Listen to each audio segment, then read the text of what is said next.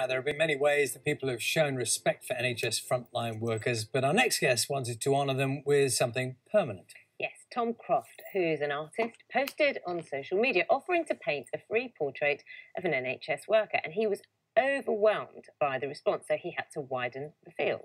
Yes, over the following months, he matched more than 500 artists with people like doctors, nurses, paramedics, and other key workers. Here's what some of those pictures look like.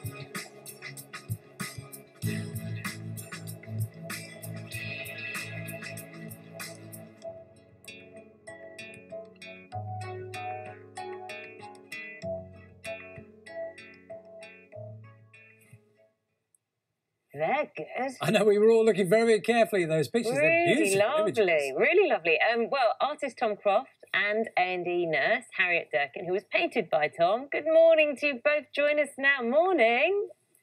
Hello, hi Harriet, how are you? Hi, hi, good morning.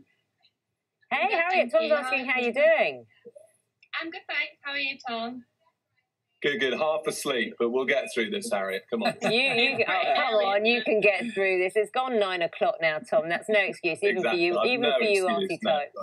Um, listen, Harriet, tell us how this happened because I think it was your wasn't it your friend who pointed out um, Tom's Instagram and got got you to respond straight away. So you got the first portrait. What then happened?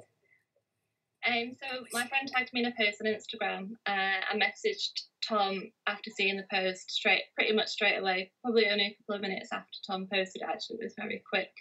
Um, saying hi, I'm an A&E nurse. I work in Manchester. Uh, at the time when I entered the competition, I was off sick with symptoms of coronavirus. So sent quite a few messages straight away, and Tom got back to me saying, "Oh, hi, amazing! You were the first person to contact me. You you've won this competition."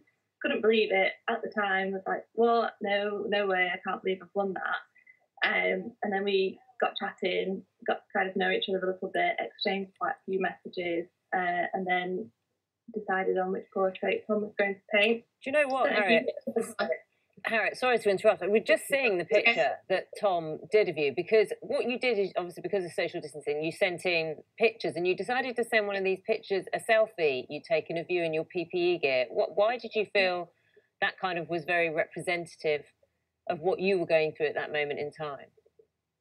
So at the time, it was all quite uncertain. Um, coming to work was quite difficult. Every day was different. We were given new guidance by public health, etc. Um, and the first time I worked in the high risk COVID area of our A&E department, um, I'd done the full PPE, the quite intense mask, the visor, long sleeve gown, etc. And it was the first time I'd done it. I quite, I felt incredibly scared.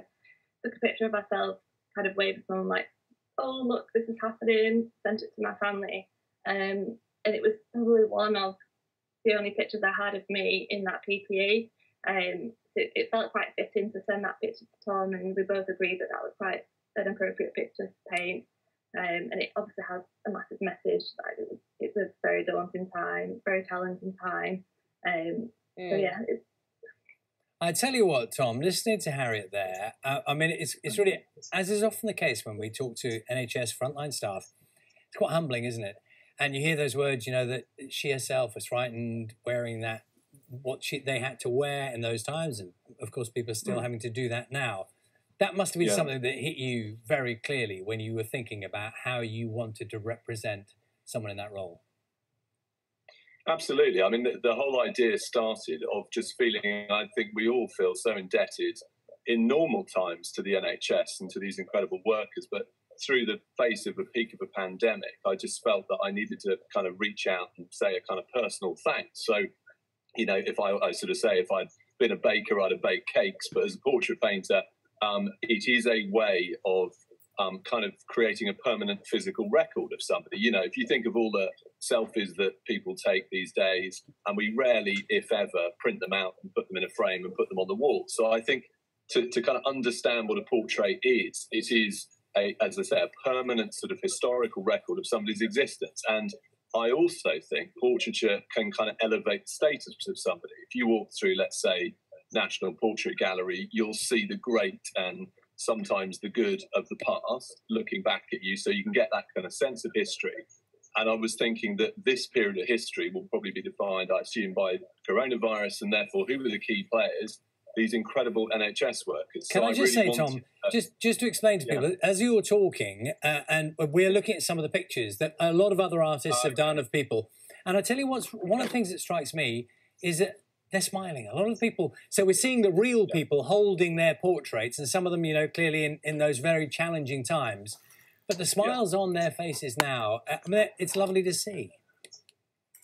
Yeah, I think that speaks of the kind of personalities of people who can go back into a job like that. I can't imagine that. You know, my worst day is I don't mix the colour quite right, or the nose is slightly off in a painting. You, I just, I can't imagine what they're having to go through on our behalves. And so, you know, as a result of that, I, I'm so pleased that our kind of art community felt the same and wanted to recognize them, wanted to say that we see you, we thank you for what we do, what you do. We can't sadly give you more money, but we can elevate you, you know, and put you on this kind of platform. And I'm I'm really thrilled at how many phenomenal artists took part. I mean, you've got people who were former presidents of Royal Society of Portrait Painters. You've got um, people who take part in the BP portrait competition each year. Um, just stunning. Somebody who's painted the Queen. Um, so these are people who would charge, I assume, quite a lot of money and take a long time to paint these portraits. And we all wanted to give them up for free because we feel so indebted to, to these wonderful NHS workers like Harriet. Okay, well, Harry, you're the you're the hero. You get the last word. How's things with you? you are you back at work and everything okay now? Yeah, I'm back at work. Um, I've just had a week's annual leave actually, but yeah, back at work. Busy, it's challenging, it's tough, but yeah, I'm back there. Well, Harriet, um, we all greatly respect and are, are very grateful for what you're doing for us as well. So you take care of yourself, um, Harriet Durkin. There, and Tom, I think you articulated that wonderfully, and thank you for celebrating them. Um, we should say Tom's book is called Portraits for NHS Heroes.